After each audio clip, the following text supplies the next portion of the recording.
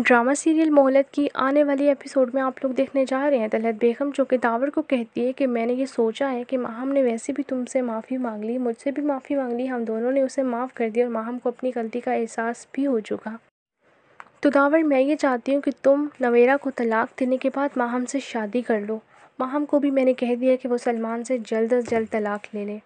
जिस पर दावर कहते हैं, अम्मी, आखिर ये आप क्या कह रही हैं? आपको समझ आ रहा है कि आप क्या बोल रही हैं? मुझे तो लगता है कि आपका दिमाग इस वक्त काम नहीं कर रहा। आप प्लीज़ जाएँ और जाके आराम करें, जिस पर तलहत बेगम कहती है। कम ऑन दावर सुबह का भूला अगर रात को घर आ जाए ना तो उसे भूला नहीं कहते। और माहम को अपनी गलती का एहसास हो तो चुका है। You are watching Super Entertainment जिस पे दावर कहते हैं कि मैं ऐसा बिल्कुल नहीं करूँगा नवेरा के साथ। इतने में नवेरा वहाँ पर आती है तो तहत बेगम कहती है लो नवेरा भी आ गई। नवेरा बताओ, तुम्हें कोई एतराज़ है मेरे इस फैसले पर? जिस पर दावर कहते हैं, क्या मतलब? आप नवेरा से पहले बात कर चुकी हैं? तलहत बेगम कहती है हाँ बिल्कुल, नवेरा से मेरी बात हो चुकी है।